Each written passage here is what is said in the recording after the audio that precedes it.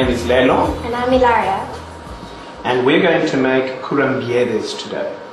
It's a Greek biscuit made with walnuts and aniseed. The ingredients are as follows. Five cups of white flour, cake flour, four cups of crushed walnuts, one cup of caster sugar, three tablespoons, level tablespoons of aniseed, and 500 grams of Stork margarine, white Stork margarine. So, Dad, what do we put in first? First thing you do is you put in the caster sugar. You then add the Stork margarine, which has been slightly softened in the microwave oven to make it easy to work with. Give that a good mix. And you cream that. There's also a little bit of almond essence, one teaspoon of almond essence, and this is a good time to put it in whilst everything is nice and soft. How much of it do we put? One teaspoon. Gives flavor to the biscuits. Get a nice turn. That's it. Is that enough? It is. I now add these aniseeds, which also give flavor. How many turn. tablespoons? There's four tablespoons of aniseed. Mix it nicely. We've prepared the oven at 180 degrees. Is that enough? It is enough, yes. I'm adding the, al- the walnuts, the crushed walnuts. And in a minute it's going to need some muscle. So I'll take over from you. That's a good girl. Now I gently add my flour so that it doesn't make it too pasty. But after you've added your flour, you can start using your hands once the buttery mix becomes a little harder. Let me help you from here. Now you comes a nice paste.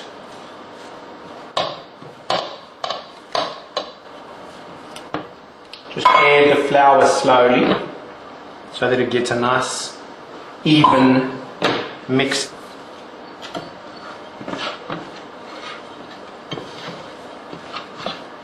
Once it becomes difficult to work with a spoon, the last little bit you do with your hands.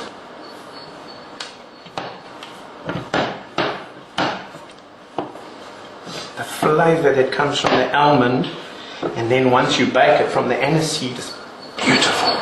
Would you put a little bit of flour in for me, sweetie? That's it. Pour the rest.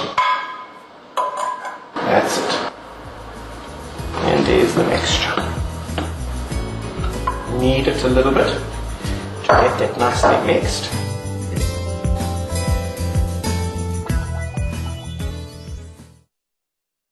Looking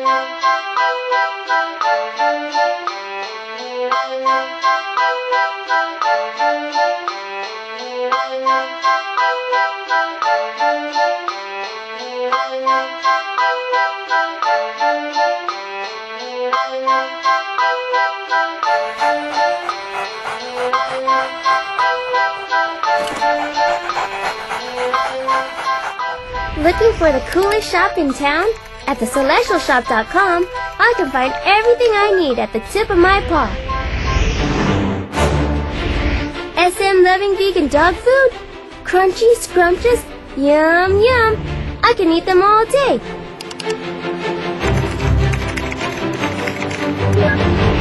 Wow, look what I found! A nice spacious house where I get to have my own patio and sunroof.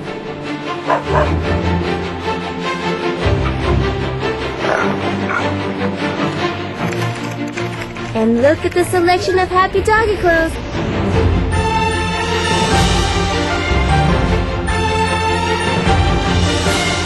So many different designs to choose from, and in all different sizes, makes any dog want to snuggle into a new pair of clothes. They even have the most comfortable bed in the whole wide world, so soft and cozy, and the base is anti-skid and waterproof. Makes me feel like a king. Finally, a store just for me. Woohoo! I'm in dog heaven. Thank you, thank you, thank you. Come see what's here for you. TheCelestialShop.com.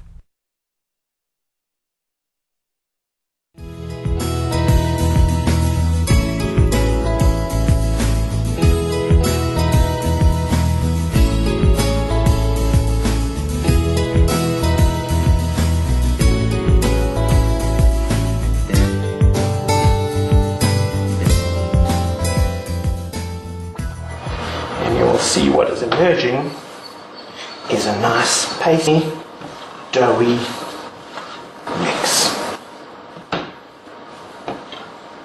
It's just a question of blending all the Stork margarine with the ingredients. Once this mixture is ready, and you can see the texture, this is where the hard work comes. What you do is you take the little ball, roll it straight, and you put it on the tray by turning it into a half moon crescent. Actually, call them crescent biscuits. As you can see, the texture allows you to work the balls quite easily. You only cook between 15 and 20 minutes so that you get a nice crispy biscuit. This produces, think about 60 biscuits.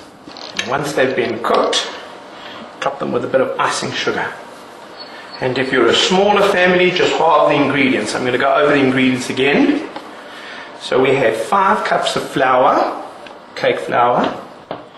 We had four cups of crushed walnuts, full of protein. We had one cup of caster sugar. We had 500 grams of white Stork margarine, perfect for baking. And we had four level tablespoons of aniseed and then one teaspoon of almond essence. And this tray is ready with another two to go into the oven. Now we're going to put this into the oven and cook it between 15 and 20 minutes at a temperature of 180. Thank you. As you can hear, our biscuits are ready.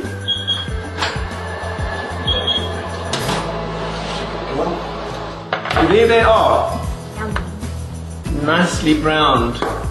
You let them cool for a few minutes, and what you do then is you put some icing sugar on like this. That's your job. And there you have kourabiedes Greek walnut biscuit, nicely browned, topped with icing sugar. Thank you. Thank you for joining us on Vegetarianism, the Noble Way of Living. See you next time.